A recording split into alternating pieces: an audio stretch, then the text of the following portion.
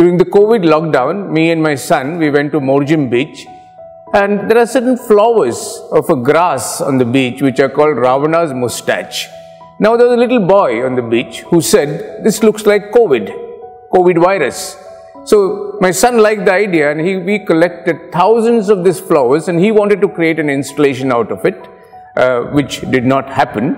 And so I showed these works to uh, my interns and they decided to create a work out of it. Art is an expression of time and any art has to respond to the experiences.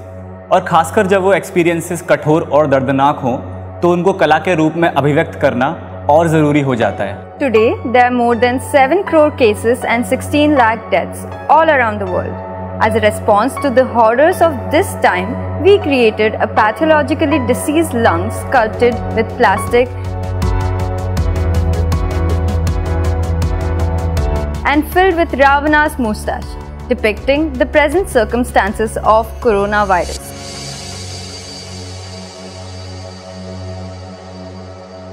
Apart from the resemblance of this grass to the popular image of COVID, the name Ravana mustache also mimicked the agony caused by the virus. जिस तरह भारत में बुराई पे जीत पाने के लिए रावण को जलाया जाता है ठीक उसी तरह हमने हमारी बची हुई रावण मुश्ताश का दहन किया।